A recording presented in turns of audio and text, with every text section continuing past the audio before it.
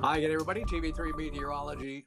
Bill Vessey here. Let's take a look at what's going on across the country. Let's start in Salt Lake City, Utah, where the snow is continuing to fall. Last couple of days, we've uh, centered on the East Coast with the big nor'easter there, the big snowstorm. Let's go back west.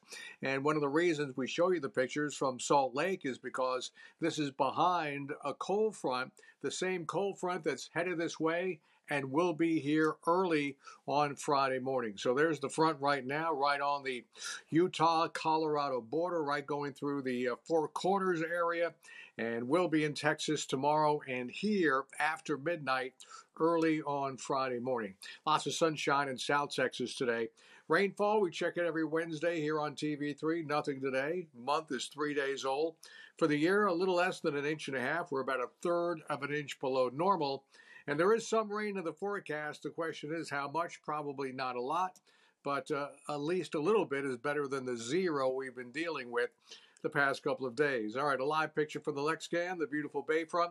72 right now after a high of 76. Look at the winds, up to 23 sustained. So breezy out there right now, and the pressure on the way up from 29.94. Here are the current temperatures ranging from 69 at Ingleside 77 at Falfurrias, 78 Hebbronville, 76 in Robstown and Alice. So we're looking at a breezy evening. All right, partly cloudy skies by morning. In fact, we'll probably have partly cloudy this evening overnight through tomorrow morning. And then during the day tomorrow, going to be another nice day with sunny to partly cloudy days, but it's going to be breezy. So the breeze will continue tomorrow in anticipation of that next front headed this way. And again, that front will be here after midnight tomorrow night, early Friday morning. And there's a slight possibility there's a little bit of rain along the head of the front. Most of that would probably occur offshore if it did happen. And then during the day on Friday, another nice day with lots of sunshine, mostly sunny, will be the forecast for Friday. We have another cold front headed this way. This would be number two. It'll be another dry front. It'll be here on Sunday. And then a real interesting front setting up to get here a week from today. And this one's going to be pretty potent.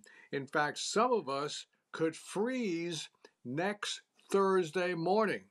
So there's some warning for you. We'll keep an eye on it. A lot of time between now and then. And again, the rain chances start ramping up next week. And again, late next week, could be interesting. So we'll continue to keep an eye on that. Winter's not over yet. Groundhog said it yesterday. Lows in the morning, 59 here in Corpus Christi. In fact, the temperature range tomorrow only 58. Where's a 53 in Rockville? 53 in Rockport to uh, 64 in Port Aransas. So then the time cast for tomorrow: sunny to partly cloudy, breezy and warm. A high temperature 83. The record high is 88. Some of us could come close to setting a record tomorrow. But look at all those 80s on the map for tomorrow. Water temperature 63. Caution for the bays, small craft advisory for the Gulf. Sun up a quarter after seven. Two high tides tomorrow, just before noon, and right around this time tomorrow. Seven day forecast, significantly cooler next week. 42 on Wednesday morning. We could be in the mid to low 30s next Thursday morning. And update at 6. Back to you.